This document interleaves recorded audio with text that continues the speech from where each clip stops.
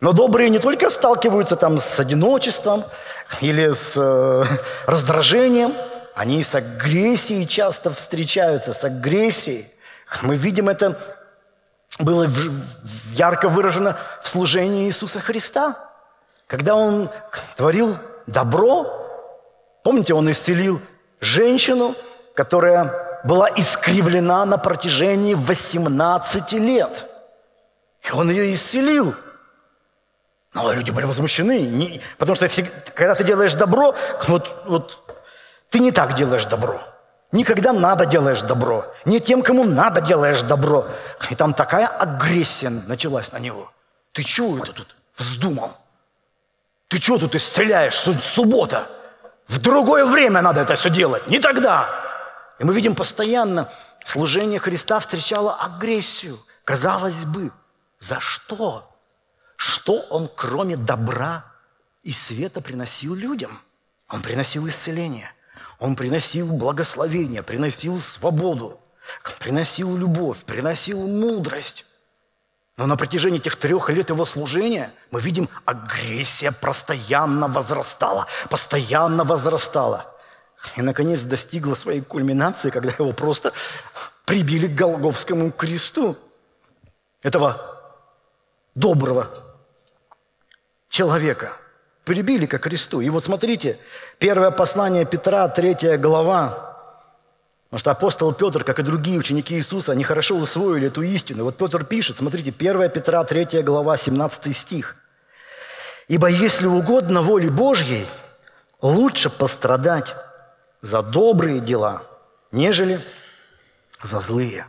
То есть доброта часто вызывает агрессию – Добрые люди за свои добрые дела нередко не только не получают благодарность, они страдают.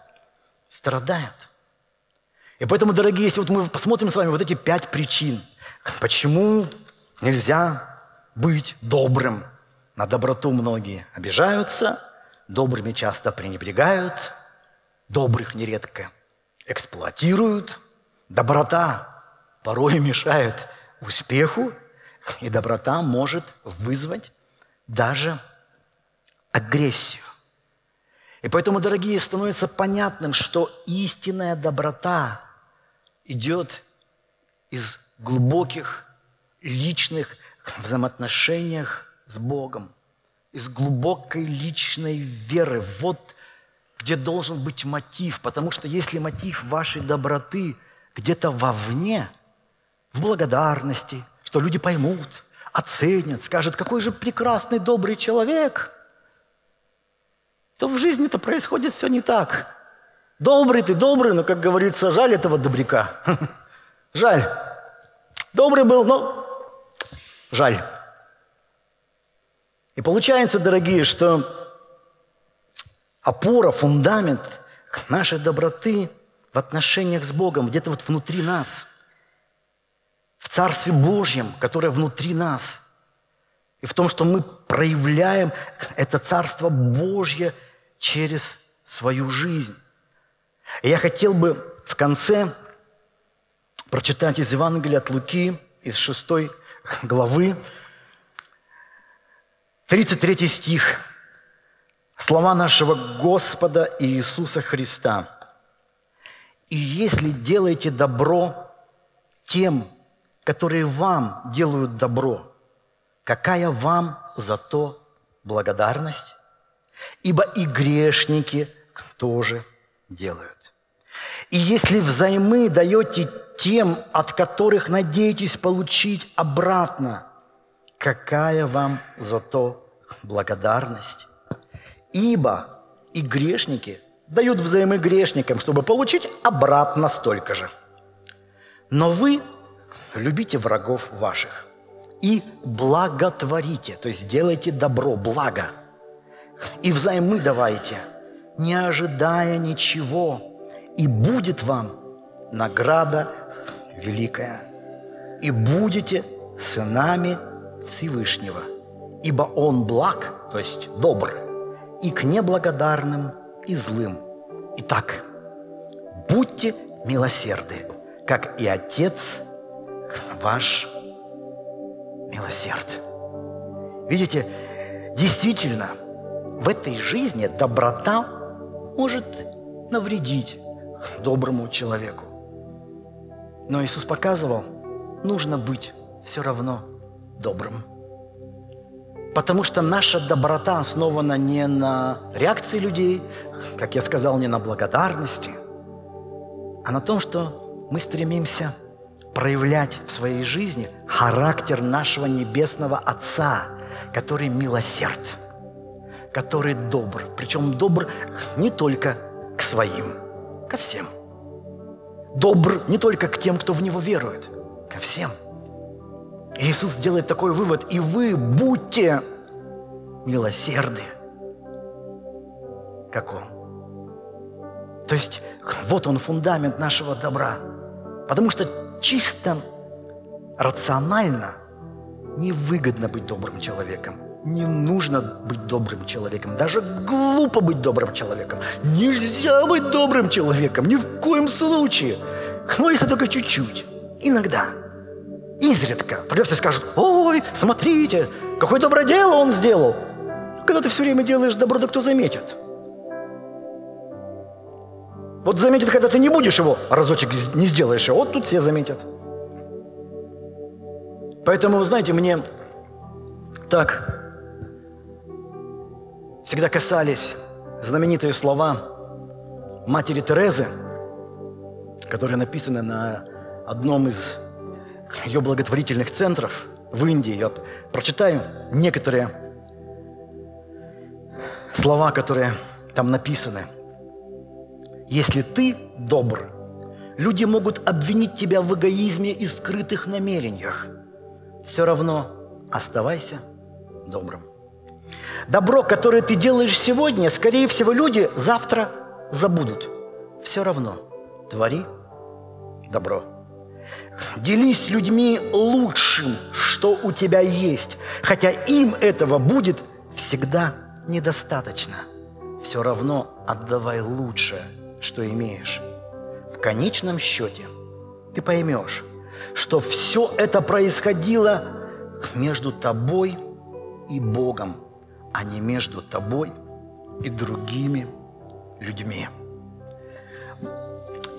Мать Тереза понимала, о чем она писала, потому что до сих пор, сколько я слышу и читаю разного негатива в адрес матери Терезы – и такой она была, и, и лечилась она сама не в, том, не, не, в, не в тех больницах, в которых лечила бедняков. В Индии, видите ли, она в этом уже преступление совершила. И, и в вере-то она сомневалась, и там у нее были какие-то странные в ее дневнике высказывания. Да, она была не идеальным человеком. Она не была совершенным человеком. И наверняка у нее, как у каждого из нас, были ошибки. Но, вы знаете, она, тем не менее, была добрым человеком. И об этом говорят множество, множество свидетельств людей, которым она принесла вот частичку любви нашего Господа Иисуса Христа, преодолевая свои сомнения, преодолевая постоянную критику, преодолевая постоянный негатив. И сегодня многие даже, проговори про мать Терезу, все некоторые, о, это Тереза-то, что это за Тереза? Она была не идеальна, она была добра, поэтому к ней тянулись Поэтому такое известное ее имя стало. Точно так же, дорогие, в нашей жизни. Если ты будешь делать добро, кому-то будет недостаточно. Кто-то скажет, что у тебя там скрытые тайные мотивы. Кто-то завтра же забудет. Но ты все равно должен быть добрым, милосердным. Иногда слишком добрым, если необходимо. И слишком милосердным. Почему? Не потому, что оценят, не потому, что будут благодарны, не потому, что не будут критиковать, если ты много добра им сделаешь, а потому что твой небесный Отец милосерд, а ты его ребенок. И ты призван воплощать в этом мире черты своего небесного Отца. И доброта всегда имеет множество хороших плодов – и это плоды не только в жизнях тех людей, кому ты добро совершил.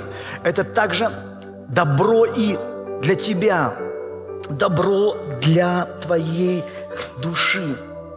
Мне очень нравится, что вот в книге притч в 11 главе, в 17 стихе говорится, «Человек милосердный благотворит душе своей, а жестокосердный разрушает плоть свою». Видите, милосердный не только благотворит другим, но и своей душе. Когда мы делаем добро, это нужно прежде всего для нас самих. Это нужно для наших душ. Это намного более важно, чем все видимые успехи и достижения, которые мы, возможно, не получим из-за того, что слишком добрыми. Но Евангелие нам говорит об этом. Горе тому, кто приобретет весь мир, а душе своей навредит. Поэтому, когда ты делаешь добро, ты делаешь благо и ближним, и своей душе, которая, в отличие от нашей земной плоти, не временно, вечно. И каждый верующий расскажет Аминь.